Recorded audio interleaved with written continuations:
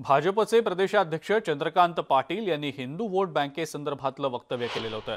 छत्रपती शिवाजी महाराजांनी Hindu vote bank तयार केली आणि अटल बिहारी वाजपेयी नरेंद्र मोदी यांनी त्यावर कळस चढवला असं चंद्रकांत पाटील म्हणाले होते. या त्यांच्या वक्तव्यामुळे राजकीय वर्तुळात चांगलीच चर्चाही रंगलेली होती. आता या वादावर चंद्रकांत पाटील यांनी पुन्हा एकदा भाष्य केलंय. माझ्या विधानामुळे मला धमकी आली. मात्र हम किसी को टोकेंगे नाही.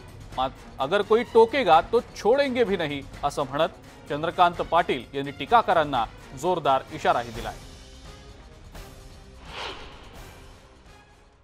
तर मला धमकी आली की तुम्ही छत्रपती शिवाजी महाराजांनी हिंदू वोट बँक म्हणजे पुन्हा वोट बँकेचं वोट बँक म्हणजे जनमत निर्माण केलं.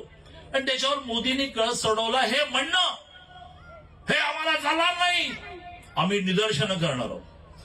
भुरभुर कळलं आवाज सगळ्यांना आणि त्यामुळे ह्या गर्दीतले एक दहावीस टक्के ते लोक असे आहेत ते म्हणाले बघूया तरी कसे निदर्शन करतात हम किसी को टोकेंगे नाही किसी ने टोका तो छोडेंगे भी नहीं अशा प्रकारचा संकल्प आबा तुम्ही करा